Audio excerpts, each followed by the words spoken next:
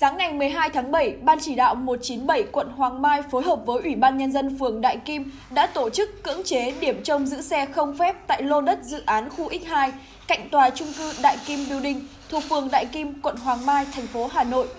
Theo đó, qua kiểm tra, tổ công tác đã phát hiện điểm trông giữ xe có 11 xe ô tô do ông Ngô Thế Sô, thường trú tại phường Định Công làm chủ.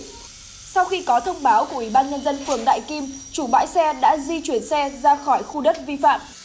Ban chỉ đạo 197 phường Đại Kim đã thành lập tổ công tác để thực hiện cưỡng chế theo quy định của pháp luật.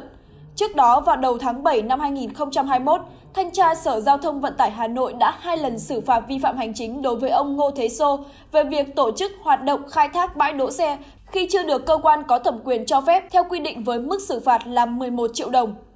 Tổ công tác ra quân này xử lý ờ, triệt để để đảm bảo cái vệ sinh môi trường và đảm bảo cái cảnh quan khu Ờ, vực ờ, tại cái dự án ờ, khu X2 Đồng Mồ và mong muốn của Ủy ban phường là sau khi giải tỏa là cũng đề nghị là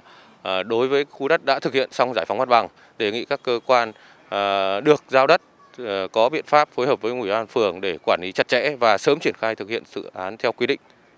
Cũng theo ông Nguyễn Sĩ Phong, trong thời gian tới, Ban chỉ đạo 197 phường Đại Kim sẽ tiếp tục tăng cường công tác kiểm tra hoạt động trông giữ xe trên địa bàn phường để kịp thời chấn chỉnh, ngăn chặn những sự việc có thể gây mất trật tự công cộng, trật tự văn minh đô thị từ hoạt động trông giữ xe không phép.